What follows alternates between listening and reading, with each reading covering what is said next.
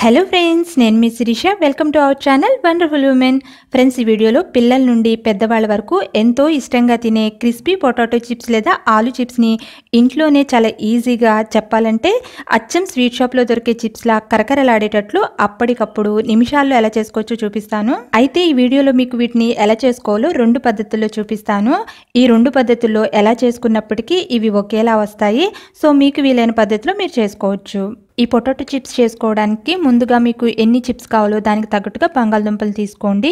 నేను ఇక్కడ చిప్స్ చేయడానికి మీడియం సైజులో ఉన్న నాలుగు దుంపలు తీసుకున్నా. ఈ చిప్స్ చేయడానికి ఇక్కడ మీరు చూస్తున్నారు కదా ఇలా బంగాళదుంపల పైన పొరలు పొరలుగా ఉన్న దుంపలు తీసుకోండి. వీటితో అయితే ఆలు చిప్స్ పర్ఫెక్ట్గా వస్తాయి. మనం జనరల్గా వాడే ఇలాంటి దుంపలతో కన్నా కూడా ఇలా పొరలు పొరలుగా ఉన్న దుంపలతో చిప్స్ చేసినట్లయితే చిప్స్ క్రిస్పీగా వస్తాయి. ఎందుకంటే వీటిలో స్టార్చ్ శాతం తక్కువగా ఉంటుంది. సో ఇలా పొరలు పొరలుగా ఉన్న దుంపల్ని చిప్స్ కోసం ఎంచుకోండి. ఇప్పుడు ఈ బంగాళదుంపల్ని శుభ్రంగా వాటర్తో కడిగి తర్వాత వీటి మీద ఉన్న చెక్కుని తీసేసుకోండి. ఈ విధంగా అన్ని బంగాళదుంపల్ని చెక్కు తీసి పెట్టుకోండి. ఇప్పుడు ఒక బౌల్లో కొన్ని కూలింగ్ వాటర్ని తీసుకోండి లేదంటే వాటర్లో కొన్ని ఐస్ క్యూబ్స్ వేసుకోండి. ఇప్పుడు ఈ కూలింగ్ వాటర్లో ముందుగా చెక్కు తీసి పెట్టుకున్న బంగాళదుంపలను వేసుకుని పది లేదా పదిహేను నిమిషాల పాటు ఉంచండి. మనం ఇక్కడ ఆలు చిప్స్ని ఇన్స్టెంట్గా చేస్తున్నాం కదా. సో బంగాళదుంపల్ని ఇలా పది పదిహేను నిమిషాల పాటు కూలింగ్ వాటర్లో ఉంచడం వల్ల మనకి క్రిస్పీగా వస్తాయి చిప్స్. పదిహేను నిమిషాల తర్వాత ఈ బంగాళదుంపల్ని కొంచెం కూడా తడి లేకుండా ఒక పొడి క్లాత్తో తుడిచిపెట్టుకోండి.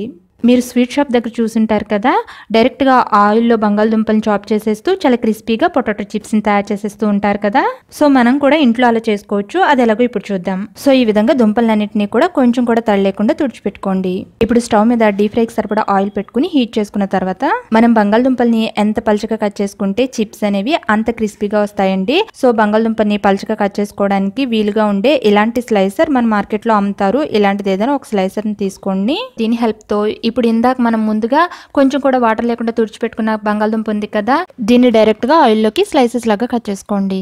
స్లైసెస్ అనేవి మీకు నచ్చిన సైజ్లో కట్ చేసుకోవచ్చు. బంగాళదుంప సైజ్ని బట్టి బంగాళదుంపని ఇలా నిలువుగా గానీ అడ్డంగా గానీ కొంచెం స్లాంట్గా గానీ పెట్టుకుని కట్ చేసుకోవచ్చు. నేను ఇక్కడ తీసుకున్న ఆలు వచ్చేసి మీడియం సైజ్ కాబట్టి నేను కొంచెం స్లాంట్గా పెట్టి కట్ చేస్తున్నాను వీటిని. మనకు అప్పుడు మీడియం సైజ్లో చిప్స్ అనేవి బాగా వస్తాయి.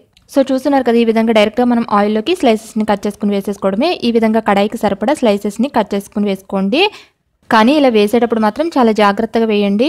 ఇలా కడాయికి సరిపడా స్లైసెస్ని కట్ చేసుకుని వేసుకున్న తర్వాత ఇప్పుడు వీటిని మంటని మీడియం ఫ్లేమ్లో పెట్టుకుని ఇవి మంచి కలర్లోకి వచ్చేంత వరకు ఫ్రై చేసుకోవాలి.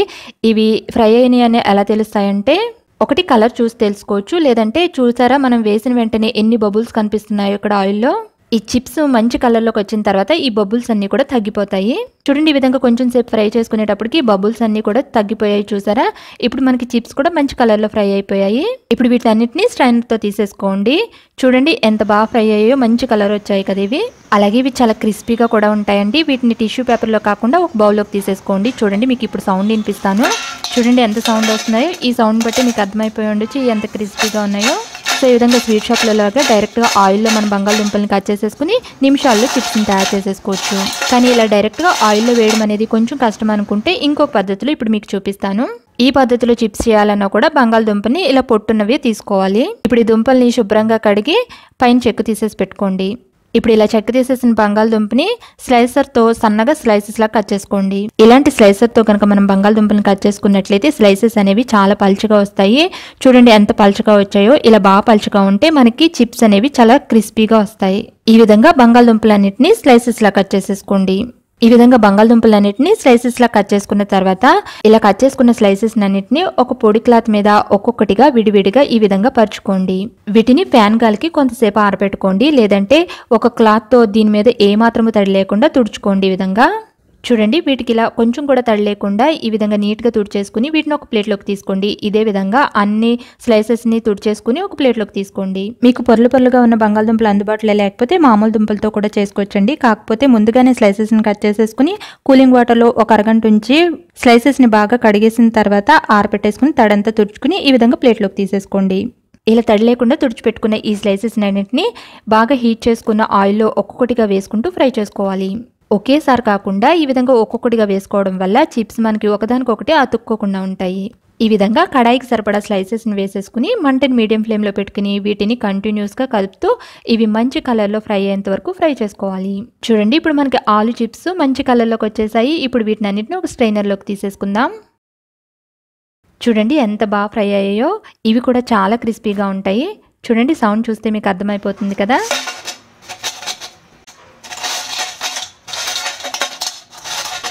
సో ఇదే విధంగా మిగిలిన చిప్స్ని కూడా ఫ్రై చేసి తీసేసుకోవడమే. చూడండి ఇవి రెండు కూడా వేరువేరు పద్ధతుల్లో చేసిన ఆలు చిప్స్. నేను ఈ వీడియోలో చూపించిన రెండు పద్ధతులు ఎలా చేసినా కూడా ఆలు చిప్స్ క్రిస్పీగా ఒకేలా వస్తాయి. సో ఇప్పుడు మీకు నేను చూపిస్తాను చూడండి. ఈ ఈ పేషన్లోవి ఇప్పుడు చేసిన పద్ధతులు అంటే స్లైసెస్ కట్ చేసుకుని ఆరపెట్టుకుని ఫ్రై చేసినవి. చూడండి ఇవి ఎంత క్రిస్పీగా ఉన్నాయో. ఇవి వచ్చేసి ఫస్ట్ చేసిన పద్ధతి డైరెక్ట్గా ఆయిల్లో వేస్ట్ చేసాం కదా అవి. చూడండి ఇవి కూడా ఎంత క్రిస్పీగా వచ్చాయో.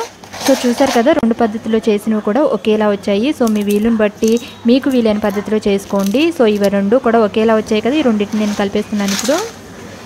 ఇప్పుడు వీటి మీద కొంచెం ఉప్పు కొంచెం కారం ఉంటే కొంచెం చాట్ మసాలా కూడా వేసుకోండి ఫ్లేవర్ బాగుంటుంది. ఇప్పుడు ఇవన్నీ కూడా చిప్స్కి పట్టేటట్లు ఈ విధంగా బాగా కలుపుకోండి. సో ఇప్పుడు మనకి చాలా క్రిస్పీగా ఉండే పొటాటో చిప్స్ లేదా ఆలు చిప్స్ రెడీ. ఈ ఆలు చిప్స్ టీ టైం ఈవినింగ్ స్నాక్స్గా కానీ లంచ్లో నంచుకుని తినడానికి కానీ ఎంతో బాగుంటాయి కదా.